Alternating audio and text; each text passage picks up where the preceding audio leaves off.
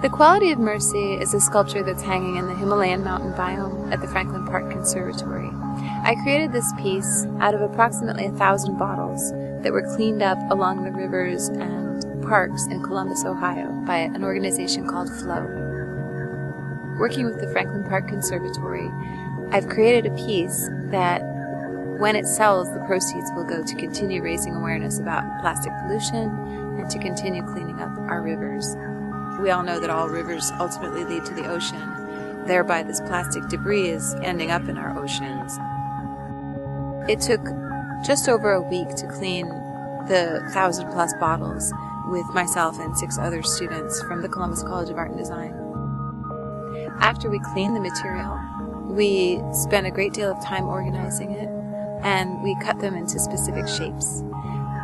We airbrush it using water-based tint and polyacrylic and I chose the palette based on some of the flowers that you'll see growing in the Himalayan biome.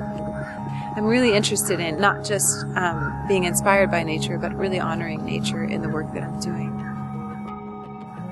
The essential form for the quality of mercy is, is roughly based on the structure of brain synapses.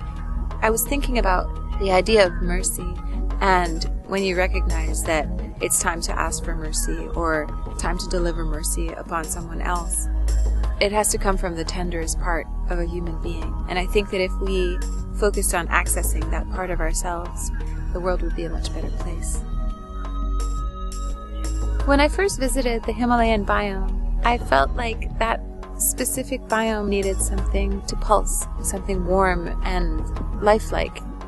So I decided to create this piece with solar powered fiber optics Approximately 40 individual strands of fiber optic cable are threaded through the piece. That part of the project was incredibly challenging. It almost resembled a horrible tangled knot at a certain point. But from that we were able to pull this very harmonious and balanced sculpture together. The quality of Mercy couldn't have happened without Flow, the organization that cleaned up the material for me to work with.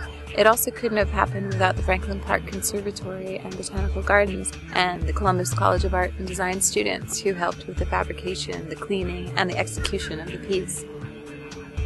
I'm interested in these pieces having a very soft and smooth and almost uplifting form. The idea with the quality of mercy is really to take something that's so horrible and creating a terrible impact on our environment and give it a new life and create something positive out of it. I really like to work in this way where it, it, involves a whole community to create something that ends up ultimately serving that same community.